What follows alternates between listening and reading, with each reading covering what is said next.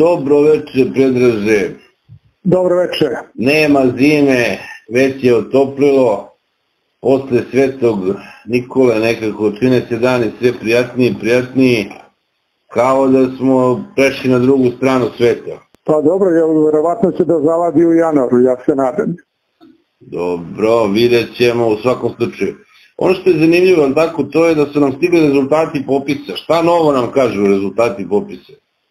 Pa, znaš koliko ja vidim, stigli su prvi rezultati po- popisa, međutim, kao i uvek, e, koji je javio da, da, će nešto o rezultatima bio je naš predsjednik Aleksandar Vučić koji je pre jedno nedelju dana slučajno kao rekao da je on ovaj već gledao re- rezultate popisa i ovaj da su dobri kao dobre su vesti kao da je manje smanjivanje stanovništva nego što smo kao predviđali. I sada iz te njegove e, izjave sve ti je jasno. To je sad kamen temeljac ovaj svega, ugaoni kamen e, celokupne te ovaj e, cirkusa koji se zove popis. I ja to vidim jako slično u svoja vremena kad smo imali rezultate korona, koliko je umrlo, koliko je ovaj zaraženo, znači sve što se dešava u ovoj zemlji, futbal, korona, popis stanovništva, sve je u funkciji rejtinga našeg predsjednika.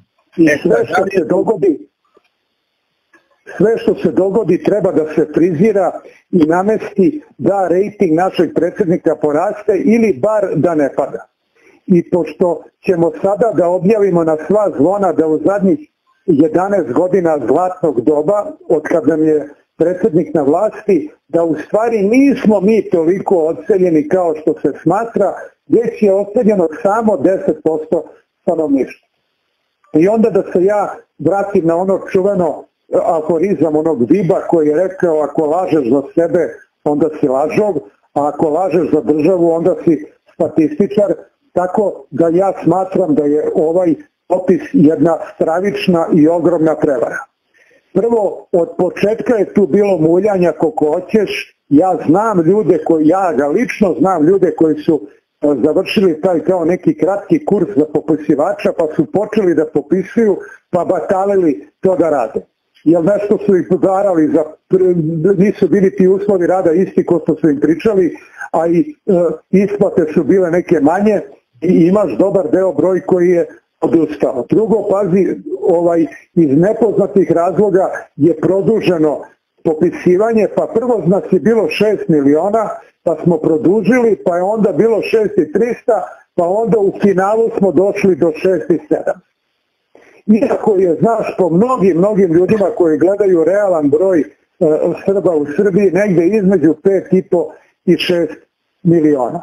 I znači mi moramo to da nabuđimo da bi se pokazalo kako ova naša vlast u stvari e, dok je ona tu nije došlo do odseljavanja stanovništva. Sada pazi, ajde možda neko možda priča ko šta hoće, možda su to i tačni podaci, ali ja sam e, boravio u mnogim mestima po Srbiji u zadnjih godinu dana, dve, i da kažem jedan primer. Na primjer, e, boravio sam i u gradu u koji, koji ti često ideš i blizak ti je Šid. I u Šidu sam upoznao znači, čoveka koji je profesor u gimnaziji. I uz koju čašicu u uh, rakije u lokalnoj seoskoj kafani on objašnjava, pošto je on tamo sad pred penzijom i zadnjih je 30 godina tamo. I on meni objašnjava da, da je ovaj Republički zavod za obrazovanje njima odavno stavio to da oni će da se ugase kao gimnazija ako budu imali manje od tri odeljenja. Znači tri odeljenja moraju da upišu da bi nekako ostali. Oni su se mučili nekako godinama da nategnu to treće odeljenje, e sad ove godine su natezali drugo, pazi. Oni sad imaju dva nategnuta odeljenja umesto tri. Ali ovih valjda puštaju još uvek. I znači na tom prostom primjeru vidiš da u jednom provincijskom gradu u Srbiji, onako manjem gradiću od 15 hiljada stanovnika, ti imaš situaciju da se broj učenika u gimnaziji i srednjoj školi smanjio za trećinu. onda opet uzimam primjer tog šida zato što sam tamo bio, ne znam što su naš tome posebni, ovaj, a verujem da je potpuno isto i u Kikindi, i u Valjevu, i u Vranju ili ne znam gde u, Negotinu. E, i ovi pričaju da je to smanjivanje broja stanovnika vidljivo golim okom za narod koji tamo žive i da se vidljivo vidi manji broj ljudi. A u selima okolnim oko tog istog grada je ta situacija još drastičnija, tako da primjer imaš posledicu, na primjer da oni ukidaju autobuske linije sa ovim selima okolnim jer nema ko da se vozi, a i ovi nemaju para da te linije prati. S druge strane, kad malo zagrebeš rezultate ovih ovaj, ovog popisa, vidiš na primjer da imaš neke varoši tamo gde je najgora situacija Južna Srbija, ja mislim ona crna trava, gde se u zadnjih 10 godina 40% stanovništva odselilo. To je, pazi, po svim merama genocid. Znači da smo mi u zadnjih 10 godina, dobro pogodilo se to sa vlašću A, V, možda bi isto bilo, ja verujem da što je najgore da bi bilo poprilično slično da je neko drugo bio na vlasti, ali mi u vreme zlatnog doba smo imali gubitak ljudi gori nego u ratovima. Gori nego u ratovima. I to se nastavlja. I sad što je najzanimljivije, sad će ovi happy, pinkovi ili ne znam šta, da nam prodaju muda za bubrege, da u stvari nije to tako, znaš, da, da smo dobri i tako da. Meni je opet zanimljiv podatak koji mi je valjda promakao da ga ne friziraju, da smo mi zemlja u Evropi sa najkraćim uh, ovaj životnim kako se to kaže vekom. Znači, mi imamo, ja mislim, 70, valjda 8 godina za muškarce, dok je 84-5 u, u, u nordijskim zemljama. Zašto je naš životni uh, ovaj vek ovde skraćen? Da kažem svoju teoriju, ti kaže svoju. Znači, prvo zato što od bolesti a te bolesti nam dolaze pre svega od stresa koje doživljavamo u zadnjih 30 godina i koji utiče na život. Drugo, pa, zagađena sredina, zagađena hrana, sve nam je zagađeno. I treće, ovaj, naš zdravstveni sistem koji je znatno ispod svih nivoa. Ja sam pre neki dan čuo, ti si doktor pa me ispravi, ja mislim da u Srbiji čini mi se dve godine nije napravljena ni jedna transplantacija nekog bubrega ili jetre ili ne znam šta, jer organa ne. I onda ako imaš jako loše zdravstvenu, ako baba dana to ne, prime, ne promeni, zaštitu, zatrovenu sredinu, stresove, život i siromaštvu i evo ti na kraju vrh ledenog brega podatak da najkraće živimo u ovim krajevima. Tako da je meni, kažem ti, bilo je neki komentara, ja sam slušao pre popisa, pa su mnogi ljudi stvarno ovde nekad i pogode, mnogi ljudi su predviđali da će ovde predsjednik da se jako, jako, jako založi da se friziraju ovi podaci, da izgledamo bolje. I ja sam ubeđen da je to i napravljeno i da će nas prevedu žednje preko vode, da je ovo sve dobro, da ovo sve tako treba, a u stvari su rezultati katastrofalni. Naročito zanimljivo, pazi, jako zanimljivo e, koliko je mali kod nas e, mala razlika između onih koji su na biračkim spiskovima i koji žive ovdje. Na biračkim spiskovima imaš 4,5 miliona ljudi, a 6 miliona ima ukupno građana, Znači, ovaj, e, to je mala razlika, trebalo bi više da bude ovih maloletnih od, od 0 do 18 godina koji ne glasaju, međutim i to pokazuje i to je pokazatelj da su ovi birački e, e, ovaj spiskovi apsolutno e, tu glasaju i mrtvi i ovi iz dijaspore. Moj slučaj, pazi, moj slučaj da sam ja 20 godina, ja lično, 20 godina pošto sam otišao u Australiju i nisam bio gastarbajter, bio iseljenik, formirao porodicu, otišao odavde, ja sam 20 godina posle odlaska dobio regularno na adresu ovaj poziv za glasanje. Ja se odavde od svega bre odjavio, od svega se odjavio i pozivi stižu.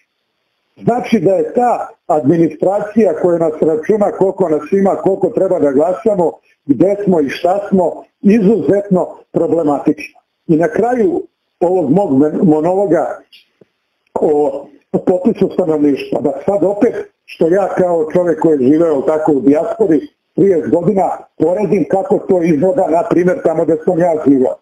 Taj, to, taj popis zove se sajzu, možda po latinskoj reči popis, i u Australiji se tamo shvata kao jako, jako ozbiljna stvar. I čak sam ja, na primjer, imao na srpskom radio programu da sam ja pozivo Srbe da učestvuju na uh, ovaj popisu i da obavezno kažu, jer je tamo pitanje bilo koji jezik govoriš u kući, da obavezno kažu srpski, koja je ovaj, um, veroispovest, ja sam rekao obavezno da kažeš da ti je da si uh, uh, Srbin pravoslava. Jer oni na osnovu tih njima jako su značajni ti rezultati ovaj, za normalnu državu, izuzetno su značajni precizni rezultati popisa, jer ti onda znaš pre svega ta socijalna pomoć ili investicije gde će da idu. Vidiš koliko imaš penzionera, vidiš koliko imaš cigana, vidiš koliko imaš mađara, vidiš koliko imaš visoko obrazovanih, koliko imaš dece i na osnovu toga znači ti možeš da planiraš da taj tvoj budžet koji raspoređuješ bude raspoređen što efikasnije jer znaš koliko kojih imaš. I onda i to se na zapadu tako gleda vrlo ozbiljno. I kod nas šta da očekuješ, što da ti kad ti imaš lažne rezultate ovaj e, popisivanja na osnovu kojih ti treba da rasporeduješ budžet. I onda kad sam ja čuo, ja ne verujem u to, ali meni je ozbiljan čovjek, rekao da on smatra da se 80% srpskog budžeta raspe. Raspe, odnosno da ode i klizne u privatne džepove. Ja mislim da je to preterano, ali mislim da možda čak realno pola budžeta ovog poreza koji nam oni uzmu i na benzin i na, i na kuće i na sve, da se pola pokrade. I zato da završim, sa, a ti mi e, daj svoj komentar, molim te za taj popis, ja znam, mislim da ovaj popis jedna, kad bi rekli kakvi su rezultati popisa i kako je to napravljeno, ja bi dao ocenu nedovoljan jedan. Nedovoljan jedan, rađeno je neprofesionalno, rađeno je kilavo, rezultati se nameštaju onako isto, pazi ti si imao tu potpuno istu situaciju da je nama uh, u mesec dana su bili izveštaji da umire jedan ili nula ljudi, jedan ili nula, jedan, jedan, jedan, jedan, nula, jedan, jedan, nula. Pa je neko proračuno da je verovatnoća da je to tačno jedan u milion ili tri miliona. To znači da je po meni Vučić ujutru javio ovima, danas vam je jedan mrtav, a toliko je zagađen. Nisu mi gledali koji su rezultati, niti tako dalje. I ja mislim da ovde je ista stvar. Im je javio, znači rezultat treba da je 6 miliona i 700. I ovi javljaju da je 6 i 700, jer to vođi najviše odgovara za, za njegov rejting. A koliko nas ima, nikada nećemo znati. Da, to je jedno od pitanja koje se nekako gura u stranu. Pa vidi, e, već je bilo sumnjivo, sećam se one priče što je bila oko popisa, te biće ovo, te biće ono, pisat će ovo, pisat će ono. Znači, čim su oni pustili tu neku, kako da kažem, buvu i negde pod uh, gajili, ali tako i uh, širili dalje, već se tada moglo naslutiti da će biti ne, neka kombinacija, neko štelovanje. Pa naravno da prvo veliko pitanje, ja sam čak malo pesimističniji, ja nešto nisam siguran da nas ima, da smo više od 5 miliona ovaj, trenutno u Srbiji. Jer jednostavno, to što si ti lepo primetio na primjeru Šida, ali možemo bilo koje mesto, u stvari ja najviše idem po selima. I ovaj, ono što znam, svi se žale, to je sad gde god da odeš u bilo koje selo, da li je Vojvodina, da li je centralna Srbija, južna, istočna, Kosovo, Metohije, nebitno, svi se žale da ljudi odlaze. Znači, to je, manjak ljudi je svugde primetan i jednostavno to je strašno. Ti si ovom svojom izlaganju pomenuo nekoliko jako bitnih tema. Jedno, ono što si rekao, nema prevoza. Pa vidi, ja mislim da smo mi to pričali. Ovde se to namerno radi. Znaš, ovde se to namerno radi da bi se ljudi, e, ti sad na primjer kad bi živeo, ja znam, da sam 10 godina živeo u jednom selu, koje je imalo kako da kažem, ima, ima, ima svakodnevne veze sa Beogradom. I onda ljudi odu rade u Beograd i vrate se kući, popodne su kući. I sad šta to znači? Znači puno, znači ovaj, on doprinosi, jel tako, prošeći pare u, u, u svom mestu, doprinosi samom tom mestu, jačanju i tako dalje, s jedne strane, sa druge strane, nema potrebe da se Beograd opterećuje i preopterećuje sa, ovaj, sa, sa ljudima koji prosto imaju svoju, svoju kuću, ne znam, svoju neku priču, nego jednostavno dođe, radi i vrati se nazad. I to je. Okay. To je bilo i u mnogim mestima, znaš, mnogim drugim mestima, međutim šta se događa? Oni namerno ukidaju, nije tačno da nema prevoza. Znaš, to je, šta se to znači? E, možemo da plaćamo, kak, e, da li nam je rentabilno da svaki, ne znam, svaka opština kojih ima sada više nego što je bilo nekad, razumeš, ima po 5 ili 10 službenih automobila, to je rentabilno da se sve to plaća, a nije nam rentabilno da, ne znam, vozimo džake ovaj, u školu, u srednju školu, neko, neko veće mesto. Tako da sad imamo situaciju, razumeš, u manjim mestima da, na primjer, negdje gde, je bila, gde su bili autobusi na sat vremena prolazili, na dva sata, sada autobusi prolaze dva ili tri puta dnevno, samo odvedu džake i to je to. Znaš, jednostavno ti si na taj način primorao ljude, on više nema načina da putuje u veliki grad, da radi, ti ga primoraš da se iskali tog mesta dođe u Beograd. I tako praviš lumpe proletere, tako praviš socijalne slučaje koji ne mogu da, prosto zbog posla se sele, ne mogu da žive ovaj, pristojno, ali tako sa tim platama koje su ovde, ovaj, ti da iznemiš neki stan i da ne znam, ono, živiš i tako dalje, to je jako, jako teško.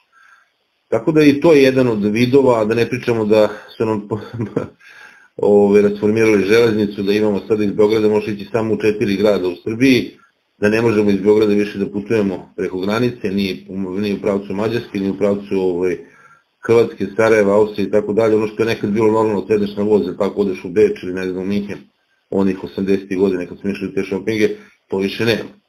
Znači jednostavno sve su radili što su mogli da urade da ukinu te e, međumesne veze, a znate da su ti recimo šinobusi bili kičma svoje vremeno transport u tim malim mestima, jeftini su bili, e, ne svako, svako veće selo u Vojvodini imalo, na primjer u Vojvodini imalo ovaj, svoju stanicu, to je bilo povezano, zašto bi ti, ne znam, ovaj, išao autobusom koji je tu ti šinobus, karta je bila jeftina, ljudi su, ljudi su putovali, toga više ne. Mi sad imamo samo ovaj famozni Soko koji vozi od Beograda Novog Sada i to je to.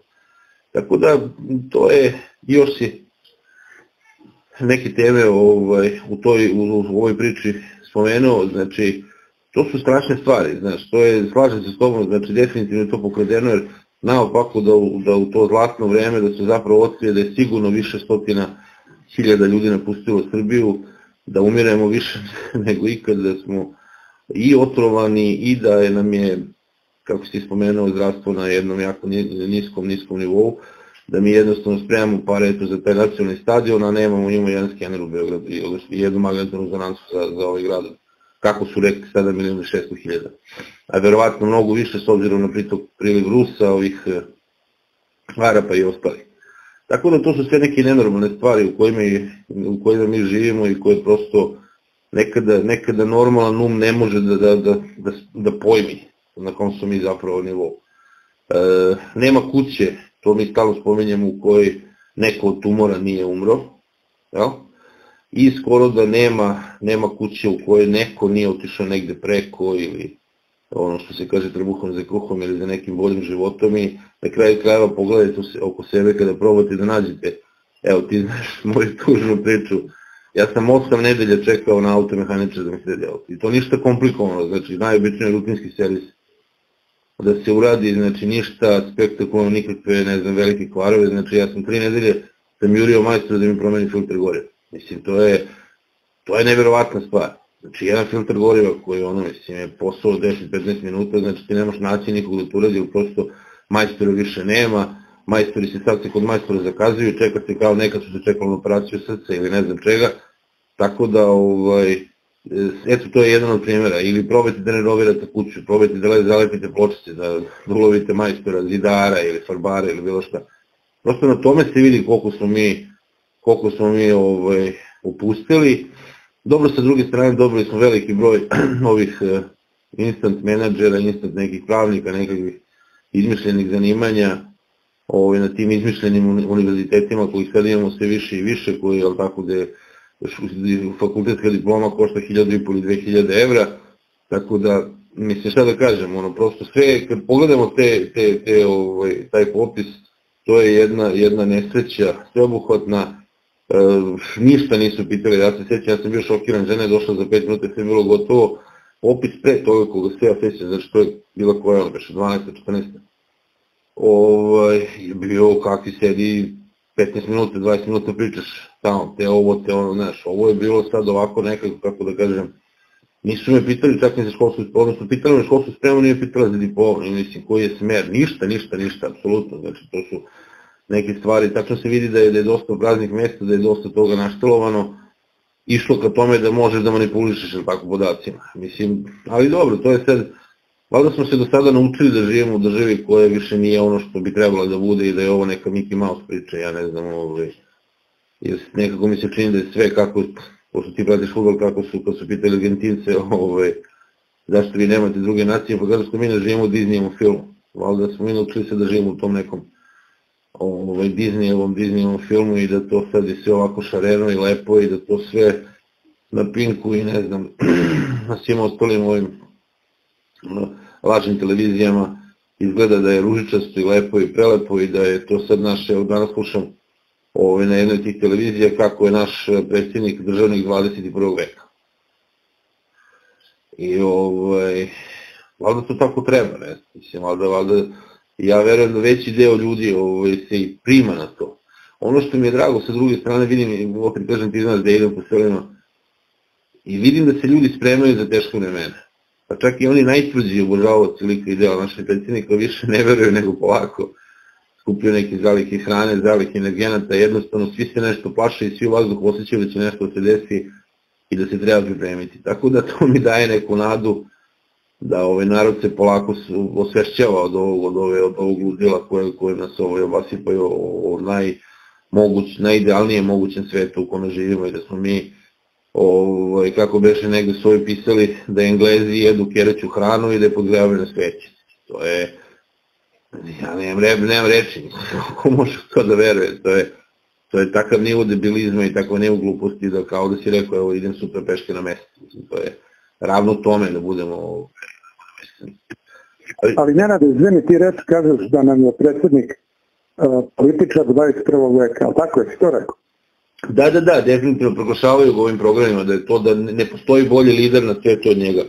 Ne, znaš što, ja sam u jednom od programa, pa da ponovim to, e, rekao, znaš, da valjda mi imamo od ranije tu, kad je ovaj ceo svet, kažem ti, išao u nekoj progres i kad je bilo sve bolje i bolje, što je normalno, razumeš, razvijanjem tehnologije ili sveta, ali ja sam i dalje, da to ne raspravljamo, ali ipak ja sam ubeđen da su političari 20. veka bili mnogo, mnogo bolji nego što su političari generalno 21. veka. Jer eto, ja to kažem u 20. veku, veku čak da gledaš drugu polovinu 20. veka, tamo je bio i Mitterrand i ne znam, Margaret Thatcher ili, ili Willy Brandt ili ne znam ko, a ti gledaj sada danas imaš Makrona, Šolca, ja, ja im, im, i imena im ne znam, pazi koliko su to bezlični likovi. Tako da nekom kažeš da baš političar 21. veka ako malo bolje razmisliš, ovaj, ne mora ništa da znači. I, e, isto mi tako deluje, na primer, sada i kod filmova. E, znaš, da neko kaže sada, evo, Avatar, novi film, film 21. veka, pa mnogo su bolji filmovi u moje vreme pravljeni Odiseja 2001. Vidim da je proglašena za jedan od najboljih filmova. Oni filmovi su veliki i ogromni bili i, i uspešni e, u prošlom veku, a sada dolazi do neke komercijalizacije, ili ne znam šta. Pa ajde da malo ovu ovaj, stalno tu suvoparnu političku temu koju ja i ti nažalost vodimo, ali šta ćemo, to je deo života, da malo ovaj napravimo neku kulturu. Gleda, ovaj, meno si avatar, pitanje si gleda avatar. Ne, ne, pazi, ja nisam gledao avatara ni prvih deo, ali sam uh, čuo jako mnogo komentara o ovom novom delu, a ti si mi rekao da je ovaj uh, Šarić ili ne znam ko nahvalio taj avatar, ja sam do sada imao dva i to sam slušao stručnjake, pazi, znači filmske kritičare, koji su napljevali ovaj avatar kao težak promašaj i oni su rekli, ja nisam gledao, da je to vidljivo, da je ovaj film alavo pravljen da se što više para pokupi i da mu je to jedini smisao ovaj pravljenja bilo i da su u toj prevelikoj želji da naprave što što komercijalniji i što atraktivniji film omanuli i da nisu uspeli i da je to katastrofa. E sad ne znam, ajde ti si gledao pa reci šta mi. Ja sam gledao novi avatar, gledao sam i stari, gledao sam i novi avatar i ja preporučujem svima da ne gube 3 sata vremena svog života, neka brišu prosinu, neka peru suđe, bilo šta, znači bit će im, bit nego da gledaju avatar iz više razloga. E, prvo, da, Šarić je duše, ali to je sad, ne to bilo simpatično, zato što on na jedan e, divan, e, posledan način reklamirao avatar. Znaš, on je pričao o starom avataru, tako ga je nahvalio nekim simbolima tamo, on se tu na lupetu koji kakve gluposti, pritom e, namerno i bezobrazno zaboravljajući e, stvari. Prvo, svi ti likovi, e, oni po meni su demoni. Znači to su, na stranu što su plavi nebitno, ajde, ali znači to su e, ljudi sa već avatari, jel tako, sa tim prvo imaju, znači, sa repovima, imaju repove, imaju šiljate uši, onako, ovaj, e, kozije uši, imaju malo e, našiljene zube, onako, ovaj, očnjak, izražene očnjak jedan i drugi, i oči su im onako prilično zmiski. Ili ovaj, reptilski. Sad ti mene reci na koji tebe to, ovaj, ili ima neki simbol na koji ti to potiče? Da, da. E, znači to za početak.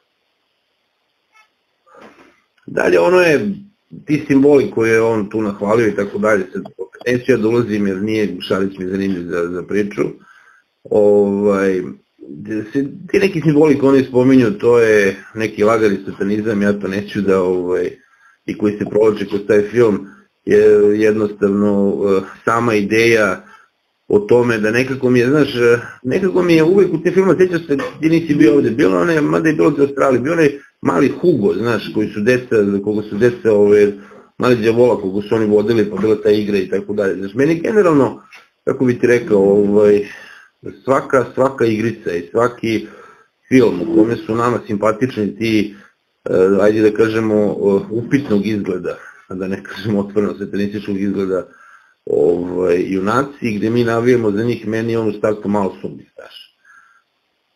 Jednostavno, ovaj, bez obzira što su njihovi ciljevi dobri, tako, ono, oni brane svoju zemlju, oni su povezani sa majkom prirodom, tu je uvek neko drvo ovaj, mudrosti koje je vezano, tako, znači koren zemlje, ne znam, ono, grane sa kojima se ti povezuješ, koje zna sve, ovaj, i napred i nazad, šta će biti, nekako mi je to sve, ovaj, kako da kažem, uvek jako sumnjivo, I po meni je ovo jedan uh, satanistički na, na stranu što je dosadan, šta je pojente priče? Film je usiljene, usiljena priča, potpuno usiljene priče, znači imali smo u prvom delu je bila borba u vazduhu i zemlji, sad je borba u vazduhu više u vodi, znači nije na zemlji nego i u vodi, ovaj, priča koja je predvidljiva, znači potpuno ono američka priča, nema, nema, kako da kažem, apsolutno predvidljiva na početku, otprilike prvih 15 minuta, 20 možda zna šta će se desiti, e, i jednostavno pravljena je tako da će biti trećeg dela. Postoje neke paralele sa ratovima zvezda u kreiranju nekih junaka, ali kako se zove, ovaj, valjda je Cameron kao dobar, on je po meni generalno oslednji režiser.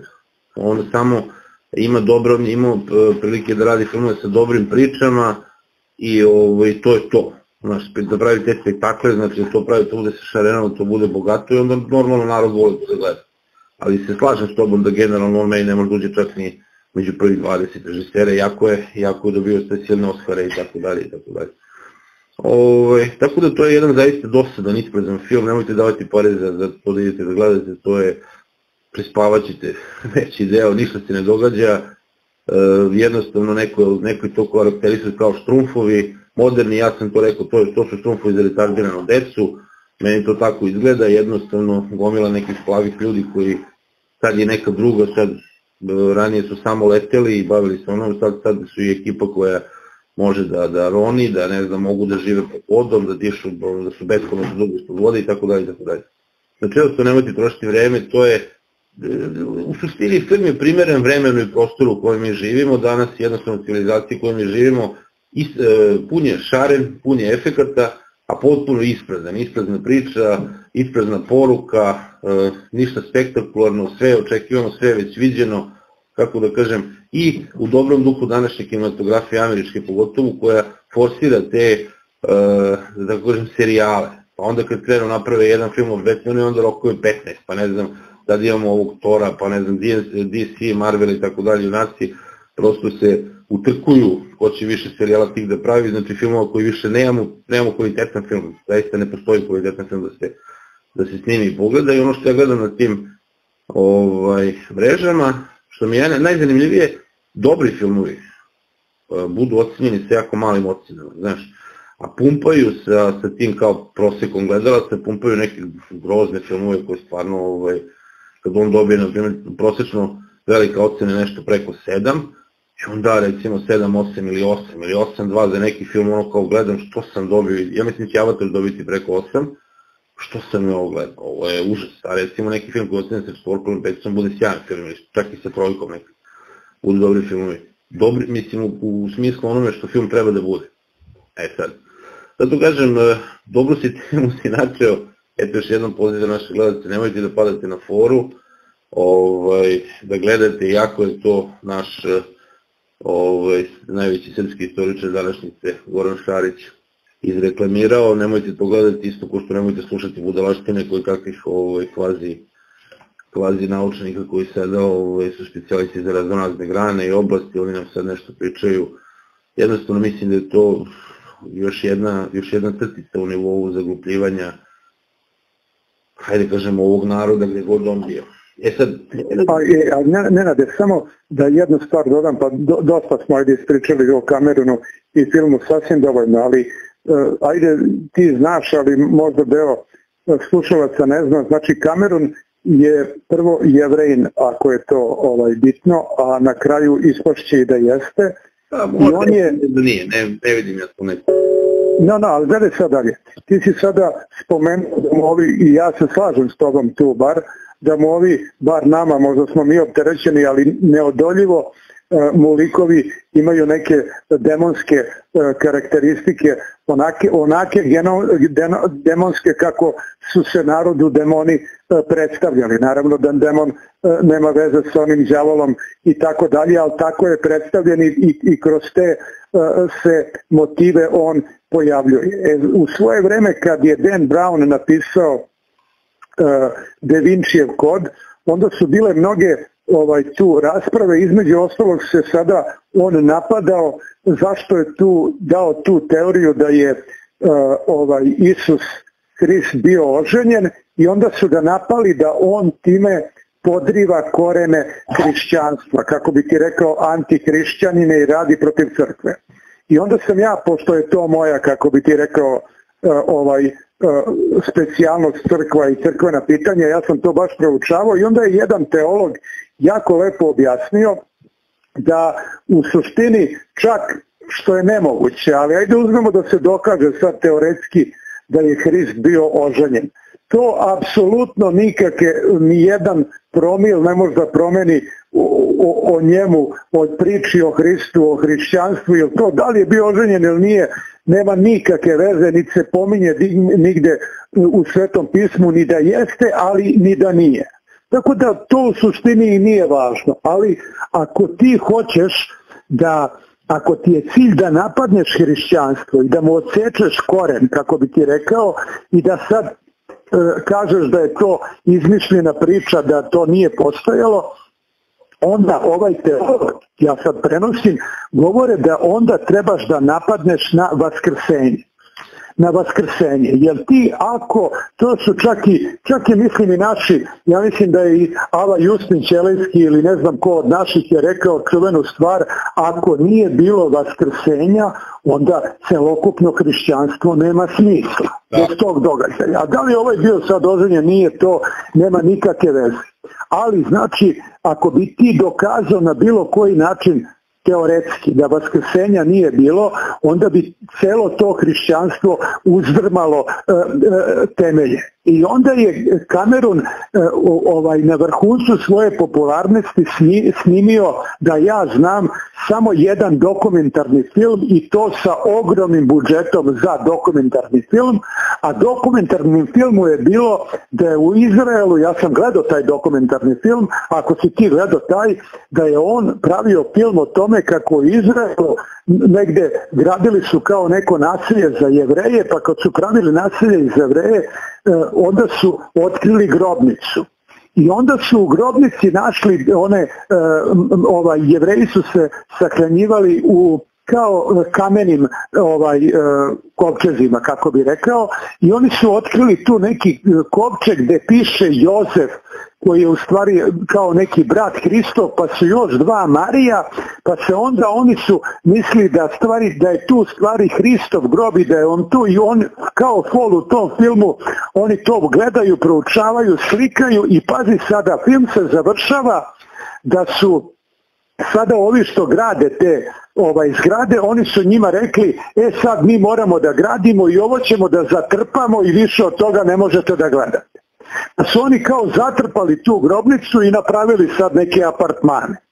I sada šta je tu nelogično? Pazi, nelogično pre svega jevreji koji su poznati po, kao ljubitelji ovaj kako bi ti rekao para i bogatstava, da je to stvarno mogla da bude teoretska neka Hristova grobnica, pa čoveče to bi se ispraznilo 10 kvadratnih kilometara da se napravi najveće svetilište na planeti, da je nađeno mesto gde je Hrist sahranjen, međutim pošto je cela priča prevara, oni su onda smislili, pazi sad, Hristov grob će da zatrpamo zato što treba se naprave ovaj e, zgrada od dva sprata neka. I onda se ja vraćam na to da, da ja sad ovako kažem ti da je Cameron imao zadatak uz dobru lovu, uz odličnu lovu i neku polu priču da, propu, da pro, progura to da je tu sahranjen Hrist, da su mu tu kosti, znači da on nije vaskrsavao. Znači da on nije Bog. I on je to radio. I taj film mu je onako osrednje i prošao, pokazivo se taj dokumentarni, ali izgleda nije uspeo onome što je hteo, bio je malo neubedljiv, ali ja sam tu i zaboravio, ne bi ti o tome pričao, da me ti sad ne podsjeti da ovaj film za mnoge ljude, pa i tebe, a i mene, možda za druge nema, ima te neke elemente, ajde da kažemo, pomalo satanistički ili pomalo više satanistički, pa ja sad spajam sa tim njegovim dokumentarnim filmom, tako da se ja ne bi iznenadio da i on je neki član nekog uh, ovaj velikog svetskog poretka i neke velike elite koja mu i omogućava da pravi filmove sa najboljim pričama i sa najvećim budžetima zato što je njin, a on za uzvrat, razumeš, da se oduži ovima koji su ga tu poslali da to napravi i da se obogati, znači treba da uradi to, a da je, da znači e, e, forsira satanizam, a ako može da isforsira da je i celo hrišćanstvo, razumeš, e, Deda Mraz i izmišljena priča. Tako sam ja eto malo slobodnije od Gorana Šarića ovaj, napravio neku priču. Znate je to zanimljivo, ja bih to povezao sa pričom, ovaj, vi ste i na, na objavili e, Amerikanci, koliko vidim sad malo forsirati te ovaj, članke iz američke štampe i sad je jako zanimljiv njihov ovaj, autor je napisao da, oni su radili istraživanje, ja, ja sam to posle nisam bilo to se malo proveri tu agenciju, zaista to sve postoji, zaista se bave istraživanjima, zaista im je to i onako dosta su poznati i vidim da su dosta usputni. Oni su radili istraživanje e, su, ali oni su se bazirali, e, kako da kažem, da su oni rekli jedan od četiri da su, da najgluplji ljudi na planeti e, zapravo glasači demokrata, američkih ovaj, demo, demokrata. I oni su tamo naveli to kao primjer, znači jedan od četiri demokrata veruje da muškarac može da zatrudni abortira. I onda su oni složili tamo, pa recimo 36% belih e, fakultetski obrazovanih žena veruje da muškarac može da zatrudni i da abortira. E, 27% liberala ovih veruje da muškarac može da zatrudne i da abortira i 21, tamo piše 21 procenat Bajdenovih birača ukupno veruje da muškarac može da zatrudni da abortira. I sve meni to bilo zanimljivo, znaš, i ovih dana ja ove, ovaj, s kim god se čujem ili vidim, rekao, šta misliš ti o tome? I svi su onako šokirani kao da li je moguće da, da, ove, ovaj, da idioti to veruju, ali mi je bilo zanimljivo objašnjenje, neko je pokušao da mi objasni, da, da, da, ima kao, pa čak i na internetu su objašnjavali kako je to moguće, ja sam onda gledao i snimke iz njihovog senata, tu ovaj to je spomenuo u tom članku, ja sam posle gledao i to, da jednostavno dolaze ovaj, ljudi i profesori univerziteta, žene uglavnom, koje tvrde da da, apsolutno je moguće da, da muškarac može da zatrudne i da abortira. E, I e, imamo slučajeve nekih profesora tamo koji su otpušteni, momentalno otpušteni sa fakulteta, jedna profesorka i to je krenula velika hajka na nju, je da rekla da prosto muškarac ne može da zatrudne i da abortira i oni su otpustili i napravili su od nje vesticu. I ono što mi je još zanimljivije, kada je taj neki senator tamo ispitivao te ove ovaj, profesorke, on je postavio pitanje i kaže, pa dobro, kao šta je žena? Ok, dajte mi definiciju žene. I ovo je odgovorila, ja sam žena, kao, pa kao dobro, ali šta je definicija, znaš, ono. Ne, kao vi mene vređate sa svojim pitanjem, jer ja sam žena, a kaže, mi treba da dopustimo da svako, ovaj, kako se zove, ko želi da sebe vidi kao ženu, ovaj, može to da kaže ja sam žena i znači sad neki tako koja bradati, bradati, tako ovaj, muškarac može izađe da kaže ja sam žena i ja ovaj, eh, mogu da mogu da ne znam rodim i da abortiram, odnosno da muš, eh, žena može da kaže ja sam muškarac i onda u tom slučaju muškarac može da rodi i da abortira, što je potpuno, ne znam šta da kažem, meni, to van svake pameti, I ono što je još zanimljivije, još jedan članak ste tamo objavili koji se naslavlja na taj, a to je da e, se izbacuje algebra iz e, američkih koleđa. Jer kod njih se ta algebra ubacuje tek ovaj, za one koji to ne znaju, to bi trebalo da bude račun, mi smo to nekad tako zvali. Kaže, počinje, se, da se uči tek u srednjoj školi. I onda sad oni jedan od uslova za upis na fakultet je da se položu ti testovi iz algebre i oni imaju da im jedan od tri studenta ne može da brodi testove a uslov da diplomira, ali tako na kraju je da e, ima završene te početne testove. I onda on ima sad problem, pošto po par godina im ljudi ne diplomiraju zbog tog jednog predmeta, jednostavno smislili su, ovaj, kako da kažem, e, potpuno genijalnu ideju, to je da izbace algebru sa fakulteta. Tako da ovaj, možda je to sve kada pogledamo i taj avatar, tako, kada pogledamo i ovo što smo pričali na početku, nekako mi je ta priča dosta zanimljiva, I ovaj autor na kraju kad je u te priče algebri kaže da, deca nam ne znaju više da računaju, to je sad e, definitivno, ali kaže oni se odlično snalaze u tim sad zamenicama, rodovskim zamenicama i u tom ludilu tako da nepogrešivo znaju da ne znam ko je, da može da bude on, ona, ono, ona i već 30 i nešto oblika i mislim da je to nešto se forsira i o, vi ste tamo stavili da jednostavno ne, da se ne plašimo, da, da se ne, ne radujemo da se to dešava samo Amerikancima, gledamo oko sebe da se to sve više dešava i nama. I mene se zanima tvoje mišljenje e, da li može muškarac da rodi i da abortira, da li se slaže s time. I da li pa mislim sigurno da, da može, ali gledaj, ja, ja tebi kažem, meni je na primjer ostala u Australiji upečatljiva jedna scena, ja dolazim u samoposlugu, lokalnu veliku samoposlugu da kupim nešto i račun je na primjer 41 dolar. 41 dolar. I sad ja dajem onoj koji radi na kasi 50 i onda brkam po džepu da vidim da li imam 1 dolar da mi vrati 10. I kako sam ja dao 50, ona sad kuca da je dato 50 i da treba da vrati 9. Tako ide kod njih. Ne računa ona koliko treba da vrati, nego ona u kuća koliko je dobila i koliko je i sad njoj piše da treba, treba da vrati 9. Ali ja u tom momentu vadim onaj dolar, izvadio ga u džep i dajem joj 51, a ona treba da, a račun je 41. I onda vidiš, pazi, ona me pogleda i panika joj na licu. Pazi, panika. Znaš šta znači panika je?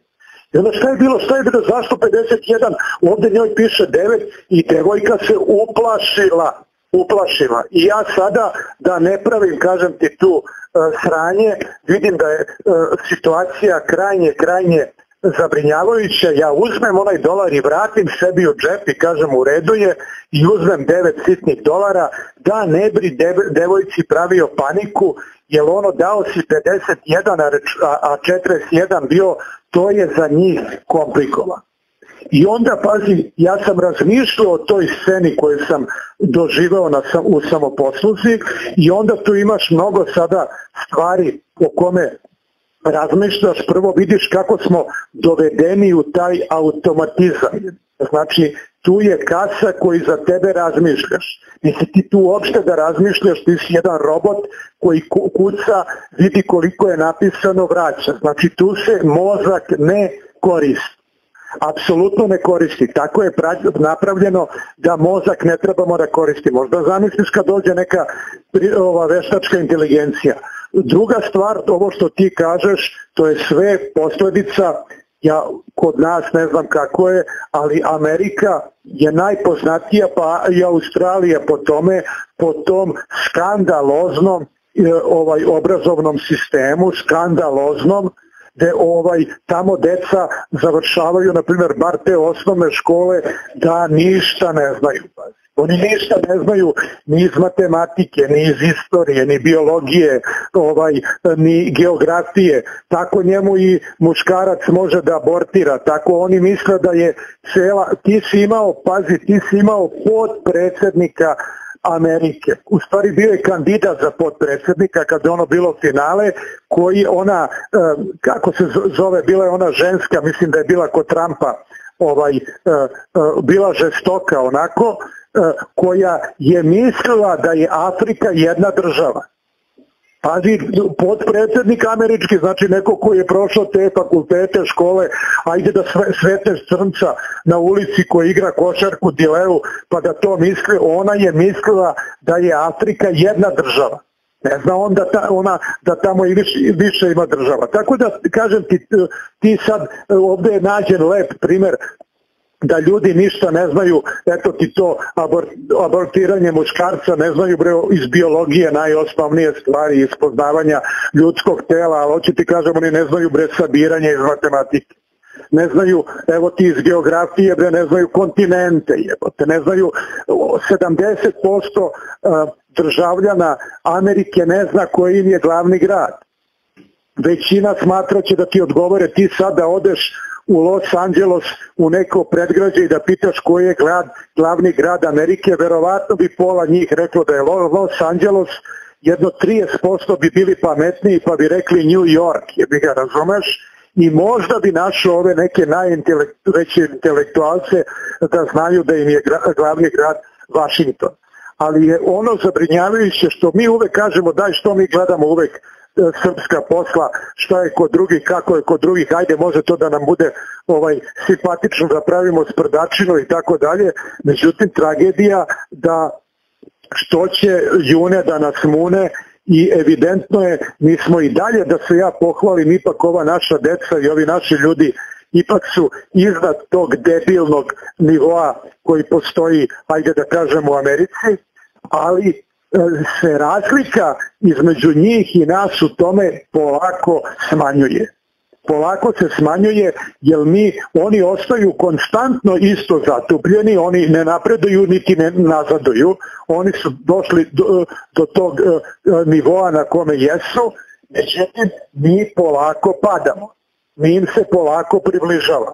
I ako se ovde ne desi neki ovaj, da upotrebim tu e, reč u našem obrazovanju, ako se ne, ne desi neki ozbiljan reset, što bi rekli englezi, ili da kažem kako da to nazovem, neka obnova od početka iz korena, i mi ćemo ovde za deseta godina da imamo dobar broj ljudi, ja verujem i sada da ti ovaj intervjuišeš ove uh, redovne, redovne ovaj e, ljude, da nađeš čoveka koji redovno gleda um, Pink, Happy i taj Informer, a nađeš takvih ljudi, ja sam ih viđao, vidio sam u slučaju čovjek čita Informer. Vidio sam na, u parku neko, znači ima da neko to čita, drugo imaš masovno se gleda taj uh, Pink. Ja verujem među, to, među tim ljudima, da kažem Pink Informer, da praviš anketu bio bi jedan procenat ljudi, ne verujem tako visoko u Americi, ali ja verujem da je bi jedno 20% ovaj, e, posle razmišljanja reklo da ipak muškarac može da napravi abortus. Da, ali pazi, taj procenat verujem da je pre 20 godina bio 1% ili 2, sad smo tu, verujem, evo moje prognoze, dogurali do jedno 20%, ali idemo naviše. Tako da ja mislim, ajde nije ni važno ono prognoziraš za neku budućnost, ali ja mislim ako se nešto ne promeni, a ne verujem da će da se promeni, da e, mi e, za deseta godina da ćemo da se ovaj e, spuštimo na taj nivo. Opet, izvini, ja bi ovde samo rekao ko čemu o baba u štipcima, pa opet o tome ja sam tebi evo sada kažem da mi sad biraš, da mi sada biramo evo kraje godine i da biramo sada događaj koji je u 2022. najveći utisak na tebe ostavio. Ja bi imao jedan događaj koji ne verujem da ima bilo ko drugi da je taj događaj njega toliko uticao, a meni jeste lično, ali imam opravdanje zašto, a to je e, dolazak e, kamena kojem je gađan gospod Isus Hristos u selo e, ovaj, e, Palmino. A zašto, je to, a zašto je meni to značajno? Jer pazi šta se dešava, a, a kažem ti evo povezujem sa ovim e, muškarcima koji mogu da naprave abortus. Znači ti imaš ovde e, Pink i oni to pametno rade. Oni znači imaju svoju ovaj gledalačku publiku i ja mislim da su oni svi do jednog tamo, do jednog na Pinku jako, jako svesni koju oni publiku imaju i koji je nivo te publike i šta ta publika može da prihvati i šta može da im se servira. I pošto su oni veoma svesni da je nivo obrazovanja njihove publike na vrlo, vrlo niskom nivou, onda su oni napravili po meni ispravan e, potez da za neke stvari uzmimo istorija, uzmimo arheologija, uzmimo e, hrišćanstvo ili na primjer ne znam nešto slikarstvo, umetnost, kad se nešto desi, da bi ti sada to ne bi direktno kao, e, kao informaciju preneo e, narodu koji je e, zatupljen, onda imaš nekog koga zoveš sada, kako se to kaže, stručnjak za to, koji će sad to narodu da objasni. Specijalista, stručnjak ili kako se sve to zove.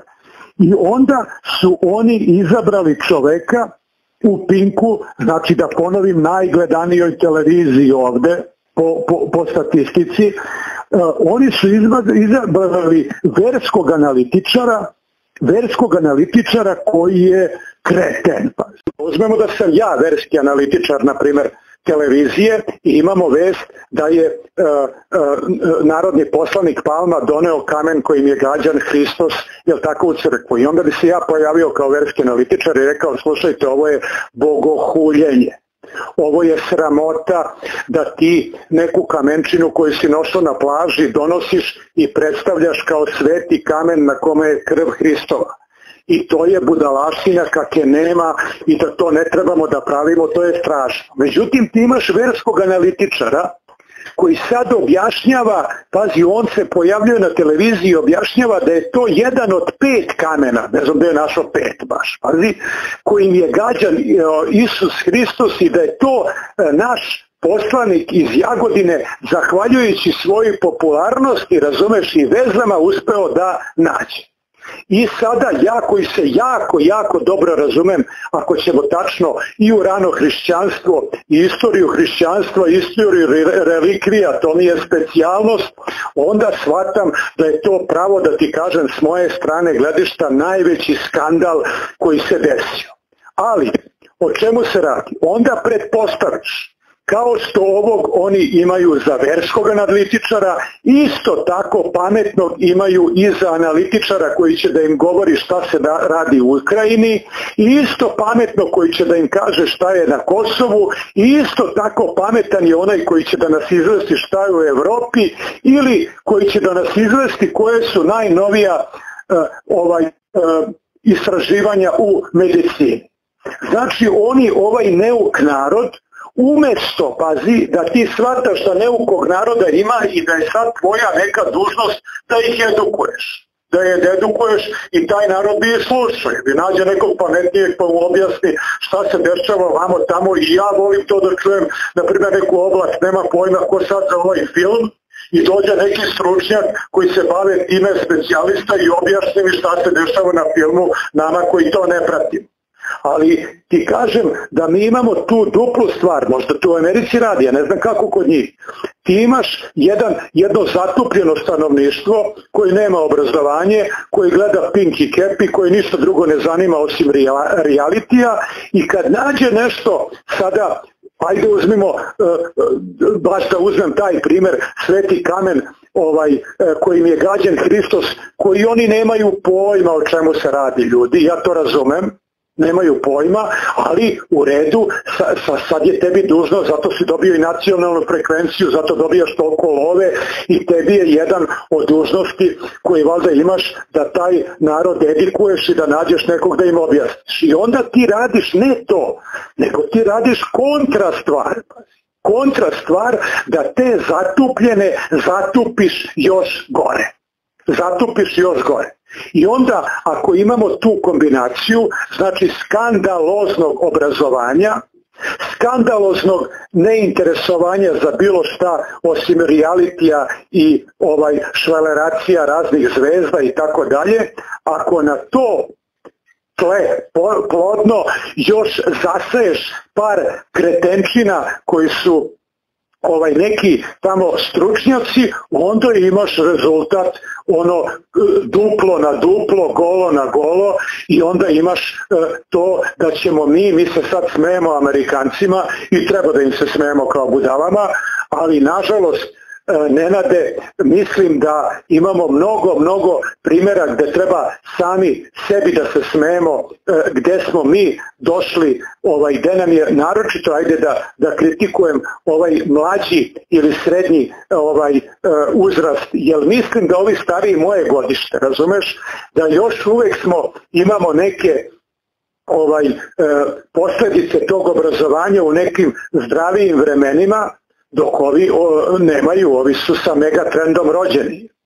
Mi se toliko smejemo da smo počeli da plačemo već od smejanja i toliko je sve to smešno da jednostavno suze mi već polako kreće od svih tih gluposti. Vidi, e, ja bih htio jednu temu kad si već e, ove, spomenuo sad raznorazne spinove, e, a to je nažalost nešto što se opet ču gura ispod tepiha i opet se pričaju neke bajke, vidim da sad ne znam više ni koji atentat, opet se priča o predsjedniku, to, on ima više, uspio za ovih 10 godina više nego Fidel Castro, što posle koliko 30 godina vlast, ovaj, da ih ima. A to je Jarinje. Mi smo prošli put ovaj, pozvali i podržali ljude da dođu na onaj protest što je bio u nedelju na Jarinju. E, dobro, objektivno ja sam dobio to ovaj, kao da se grupa iz Crne Gore i Hercegovine organizovali da pomogne braću u Srbiji. I tu redu, ja stojim i dalje da jednostavno treba da se svi borimo za Kosovo i Metohiju, jer je to jednostavno nešto što je naše, u, više to nije pitanje, kako da kažem, geografije, to je pitanje genetike, nešto što je u tom nekom kodu svakog od nas. Sviđalo se to nam ili ne, ali to je tako prosto, ovaj, da je to ne, ne jednostavno taj neotuživi deo našeg tkiva i našeg bića. E sad, ono što se dešavalo tamo, dešavalo se, to je sad, ovaj, nećemo to da komentarišemo, pošto imali smo emisiju u, čini se, ponedeljak, ovaj, gde smo imali ženu koja je bila ona ispričala šta je bilo i tako dalje. Ja bih htio sam jednu stvar da ovaj, napomenem.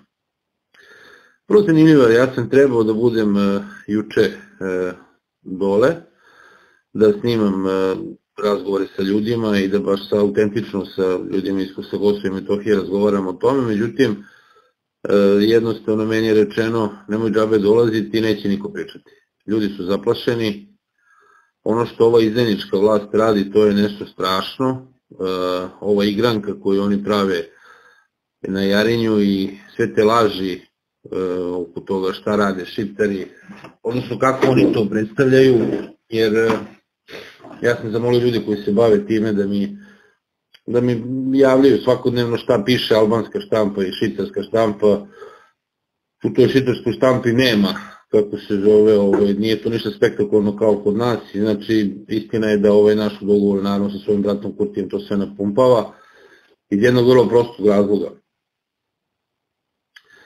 E, oni pokušavaju da slome, ovo je direktan atak na ljude na severu Kosova i Metohije. Naša vlast e, ne može da potpiše taj definitivno taj izdajnički akt kojim će dati e, de jure, jel? Jer smo de facto priznali ovaj, tu lažnu državu Kosovo i Metohiju, oni ovaj, ne mogu da još uvijek to potpišu dok se ne spominje taj narod na, na severu Kosova i Metohije. I sad mi prisustujemo jednostavno činu, nije prvi put, već nekoliko puta se to radi, već sada prisustujemo znači, činu e, otvorene veleizdaje ovog režima i ovog sistema prvenstveno, znači ponavljam sistema, e, protiv tog naroda dole. Dok se taj narod ne slomi, dok im se na jedan e, perfidan način ne uvede šitarska vlast duboko i znači šitarska policija i to sve na sever, a to sve potpomognuto režimom iz Beograda, to se neće desiti. I ja molim eto naše slušalce i oni koji se zaista, mislim da mi, pa odavno, jel, trudimo se da imamo malo inteligentnosti od tog slušalaštva i ljude koji ne, ne prihvataju baš sve na prvu loptu, nego su raspoloženi da malo razmišljaju svojom glavom i da koriste mozak, da malo promisle. E, da e, jednostavno ne dozvolimo na neki način da, da, da se to desi, da se malo više kritički odnosimo prema tim akcijama vlasti i da prosto ne dozvolimo da nam to ne bude tema, svakodnevna tema, ali ne u smislu svakodnevna tema kao što je nekada bilo, tako Srbi nebeski narod i onda smo ovaj, na kraju nas sateraš na nebesa negde ni krivi ni dužan da se ne, ne da se priča isprazno o tome, nego da se jednostavno realno sagledava situacija, da se ne picamo više na prvu loptu, da jednostavno sagledamo da je ovo jedna duboka, zaista duboka izdajnička igra, u kojoj vlast igra za, za suparničku stranu, već uh, unazad više decenija, i jednostavno na jedan korstidan način zamajava ljude u Srbiji, pričamo o nekakvoj odbrani ovome i onome, a nažalost tamo ti ljudi su zastrašeni, tim ljudima je zabranjeno da govore, ali eto kažem, znači, zvao sam više ljudi, ovaj, bilo je trebali smo da idemo i kaže vidi nemoj se ljutiti, niko ti neće govoriti, prosto ne smeju, tamo je straho vlada, tamo je nešto što, je, što mi ne možemo ovde ni da zamislimo. Znači jednostavno ljudi su zastrašeni raznoraznim pretnjama, znaju da moraju da rade te stvari koje rade, znači idu na te barikade. I ono što je zanimljivo, pazi koliko je to tupavo, znači ti, si, ti sad isteruješ ljude iz Mitrovice i Mitrovicu ostavljaš nebranjenu, da bi oni išli, pomerili se par kilometara kako se zove te barikade, što omogućava da jedan trenutak šiptari lagano uđe u Mitrovicu i posle treba povratiti, znači otvara mogućnost za neki novi pogrom kao što su bile kao što su bili nažalost u ovom, i u prošlom veku mnogi pogromi ovaj, do sada.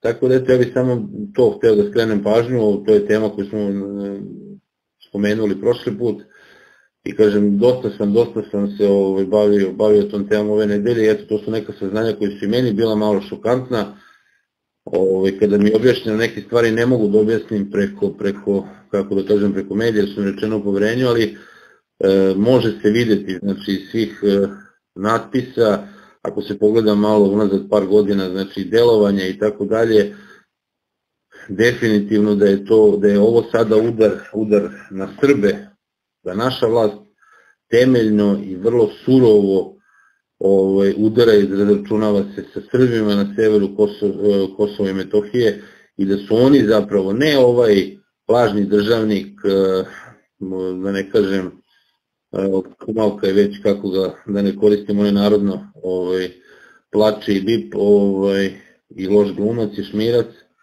nego jednostavno da je ovaj, taj narod je posljedna odbrana Kosova i Metohije, a nemamo se zavaravati da naši neprijatelji kada, ne daj Bože, slome celu tu priču i će dalje. Nemamo se zavaravati da neće se šire dalje i da neće da imaju dalje sve veće i veće prohteve, znači taj narod dole na severu Kosovske Mitrovice, severu Kosova generalno, znači ne brane samo sebe, brane sve nas. Eto, to toliko sam hteo na tu temu ovaj, da kažem da ne ostane nespomenuto, jer vidim da opet se spinuje opet se pričaju bajke, opet se pričaju neka, ove, neke gluposti, jedni drže nekako događanje naroda, drugi drže ovaj, da je sad opet on se tu nešto lavovski bori, da žrtvuje porodicu ne znam šta, a istina je zapravo da je ovo jedan, jedan potpuno režirani ovaj, projekat u, izvedbi, kako se zove, u režiji, a i glumačkoj izvedbi Beograda, napravljen sa ciljem da se slomi duh naroda na severu Kosova i Metohije, da bi onoga trenutka, jer šta njega sprečava, Ne sprečava ga to što će, ne znam, 50, 100 ili možda 1000 ljudi iz Srbije krenuti dole. Njega sprečava što će taj narod da se digne onoga trenutka da on to potpiše. A to nije malo. I onda tu lavinu ti ne može da sprečiš. Zato oni to rade. Zato se to lomi da jednostavno se njima duh slomi i da onoga trenutka kada to dođe do tačke, kada i oni postanu ravnodušni, onda ti potpišeš i onda više nikog nije briga. To je pojente priče. Meni uvek, e, e, pošto sam, kako bi ti rekao, e, naučio me taj truli zapad, da u svim situacijama nekako životnim šta god ti se desi moraš da imaš neko rečenje i da, da budeš, kako bi ti rekao, praktičan. I sad mi možemo e, da pravimo te analize šta se tamo dešava i svi nam je jasno manje više, bez obzira na priče, mi dobro svi nismo toliko ludi da ne vidimo sada šta radi Kurti, šta radi ovaj e, Vučić, šta radi Amerika, šta radi Evropa. Mislim da je bez obzira koliko oni to muljaju i, i, i prave neka sranja, tu je nama sada svima jasno ko je na kojoj strani i šta je kom, kome cilj. E sada meni samo jedna stvar duboko nije jasna, da ti pravo kažem, a koje je to sada neko e, e, e, najbolje rešenje ali praktično moguće, razumeš? Praktično moguće rešenje koji, koji onim Srbima tamo našim može da se desi. Šta je sad tu najbolje da im se desi? I sada, evo ja ne bih teo da kažem svoju teoriju, da ne ispadne neki ovaj, ko Vuk Drašković, sluša ga preke veče izdajnik, iako se s njim naravno ne slažem, ali opet šta je nama tu neko rešenje e, koje je praktično, hoće ti kažem praktično, ne što mi zamišljamo sada, šta praktično možda se desi, meni je, da ti pravo kažem, nejasno. Pa evo, e, e, nejasno mi možemo da hoćemo nešto što ne može da se desi. Opet pazi šta je politika, politika je kako ono kažu majstorstvo da u, da u situaciji u kojoj jesi dobiješ i izvučeš maksimalno što možeš, a ne ono što ti bi želeo, nego da izvučeš maksimum. I sada šta je ovde maksimum i kako da ga napravimo i šta da se urade, meni je tu nejasno. Jer mi smo tu državu Kosovsku, kako god hoćeš, praktično priznali to što mi sad nismo priznali pred jedinim nacijama, pazi ti si im priznao sve ostalo, priznao im sada parlament. Ti ne priznaješ državu, a priznaješ njihov parlament. Ne priznaješ državu, priznaješ e, njihovu policiju. Ovi svi koji su glasali na izborima tamo, e, glasali su sa albanskom, ne izvini, ne albanskom, nego isto ti to, mislim, nego sa e, kosovskom ličnom kartom. I sad ti saberi oduzmi, pazi, ta država e, Kosovo u smislu, ajde to što nije priznato jedini nacija, ali oni, ona sve atribute države imaju, šta je država? Država ti je, znaš da neko ima vlast nad nekom teritorijom. Ako ajde ne, da ne računam baš e, Severnu Mitrovicu možda damo još nisu uspeli da potpuno ovaj uzmu vlast, oni su vlast uzeli svuda. I sada, šta je nama rešenje? To ja sad tebe da pitam, šta je nama rešenje, šta bi praktično, ne u, u moglo da nam se desi ovaj, a, da, da imamo neko rešenje koje je dobro. E sad po meni, pazi, po meni e, e, možda je to izdajnički ili jeste, razumeš, nama je najbolje rešenje da uradimo dve stvari, da koliko god možemo onom srpskom narodu tamo, bez obzira priznanja, nepriznanja i te stvari, da onom srpskom narodu tamo omogućimo da može da živi, da može da se razmnožava, da može da koristi svoje pismo, svoj jezik, ovaj, pa makar bio i u nekoj e, šiptarskoj državi, ali da ima neku punu slobodu koji imaju nacionalne manjine u razvijenim zapadnim zemljama ovaj, e, i da budu deo tog društva. A s druge strane, po meni, izvini, ajde nisam ja to neki političar, ali što se tiče političke situacije, mi bi u ovim sada današnjim svetskim geopolitičkoj situaciji kakva jeste danas na, u 20, početkom 2023. nama se najviše, najpraktičnije što možemo da uradimo kao i Kipar. Kao i Kipar, nek oni tamo budu, ali oni priznati nisu i mi dalje crtamo Kipar kao celu državu i oni nemaju pravo, oni jesu zauzeli taj deo i tamo su, ali oficijalno oni, mi njih smatramo za deo svoje teritorije. I onda jedino sada, ja se tu bitno ne slažem sa Vučićem i ovim njegovim koji stalno govore ne možemo mi našim generacijama da ostavimo, mi to moramo da rešimo, što da im ne ostavimo. Što da im ne ostavimo e, da uradimo isto ko ovaj Jordan koji je ono što su im ovaj oduzeli Izraelci i naselili se, oni to nazivaju okup, okupirane teritorije. Bez obzira što je tamo Izrael i što je stavio državu ima sve to, to su za njih okupirane teritorije. I mi po istom sistemu daj da ovaj bre ljude da spasimo ovih stotina hrija ljudi što su ostali da ostanu tamo, nek nastave da prave uh, vina, a da se ne asimiluju, to je jedna stvar. I druga, za sada, taka nam je situacija, stavi da su okupirane teritorije i po meni mi samo trebamo da čekamo sad neku priliku istorijsku, a gledajte kako se dešava. Napala e, Rusija Ukrajinu, pa će Kina Tajvan, pa će da pukne e, Škotska, pa će da bude prke u Americi građanski rat, to je sve moguće i nama je moguće za pet ili deset godina da se geopolitička situacija promeni, da se oni šiptari tamo pobegnu sa onog Kosova, svi koji god mogu inostranstvu da ode ili u Albaniju, da ih bude manje, da mi teoretski osnažimo sada e, sa nekom novom vlašću normalnom i sa e, e, bez lopova i da onda u jednom momentu ih ovaj preuzmemo kao što je zapadna ovaj Nemačka preuzela DDR pre svega zbog ekonomske snage koju su imali. Ja ne vidim to drugo rešenje, pravo da ti kažem, znači, nego taj zaleđeni konflikt, kako što ovi kažu, ovaj, jer mi sada trenutno, ti tu se ne slaže sa mnom, ti stalno nešto bubnjaš da mi imamo neku snagu vojnu, mi nemamo tu snagu vojnu, mi bi imali snagu vojnu da ove šiptare razbijemo ko pijan govno, ali da oni nemaju iza sebe NATO. Pošto imaju iza sebe NATO, onda to ne možemo da uradimo. Pa dobro, znaš šta, ovaj, mislim da ono što bi ja smatram da treba da se uradi, to je trebalo da se radi unazad desetinja godina, a to je da se pusti da malo taj narod odlučuje šta će i kako će da živi. Znaš. E, mislim da treba da se sklone svi ti beogradski kadrovi koji rade za beogradske vlasti koje to još od 912. pa na ovamo i koji ne rade interesu naroda dole. I prosto nisu oni ni glupi ni neuki, oni bi, mislim, umeli da se dogovore sa komšijama šta će i kako će. Znaš. I mislim da je to rešenje, da se više da mi njima pomažemo, a da oni se dogovaraju sa svojim komšijama kako će da rešavaju, jer poznaju se oni dobro, žive zajedno.